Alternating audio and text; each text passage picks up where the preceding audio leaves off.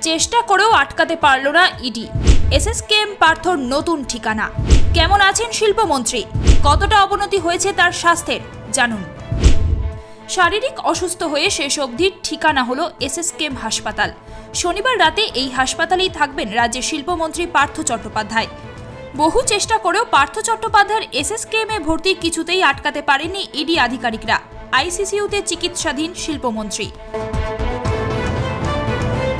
ব্যাংকশাল কোর্টেই অসুস্থ বোধ করছিলেন গ্রেফতার হওয়া পার্থ চট্টোপাধ্যায়।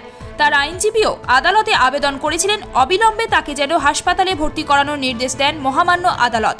যদিও এই আবেদনের পাল্টা বক্তব্য রাখছিল ইডি, আদালতের নির্দেশে দুদিনের হেফাজতে তারা শিল্পমন্ত্রীকে পেয়েছে। সিজিও কমপ্লেক্সে নিয়ে পার্থকে টানা জেরা করার পরিকল্পনা দিয়েছিলেন আধিকারিকরা, কিন্তু শেষ অবধি রায় তাদের পক্ষে যায়নি। আদালত পার্থ চট্টোপাধ্যায়কে হাসপাতালে পাঠানোর নির্দেশ দেন। ইডি বারবার দাবি করছিল এসএসকেএম নয়। প্রয়োজনে কমান্ডো বা ইএসআই হাসপাতালে ভর্তি করানোর নির্দেশ দিক আদালত। কিন্তু সেই আবেদনে সাড়া দেননি বিচারক। এজলাস থেকেই এসএসকেএম পৌঁছান পার্থ।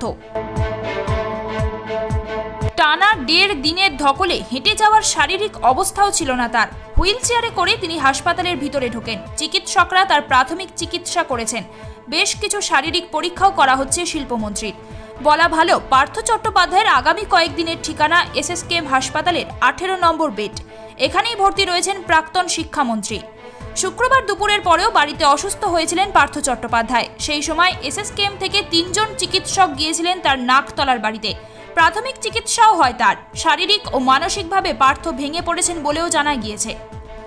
দীর্ঘ সাতাশ ঘণ্টা ধরে ইডি আধিকারিকরা তাকে জেরা করেছেন। কিছু বিষয়ে মুখ খুললেও এড়িয়ে গিয়েছেন অনেক কিছুই। একাধিক বিষয়ে সঠিক উত্তর চাইছেন আধিকারিকেরা। শুক্রবার রাত একটা পঞ্চান্ন মিনিটে বাড়িতেই তাকে গ্রেফতার করেছিল ইডি।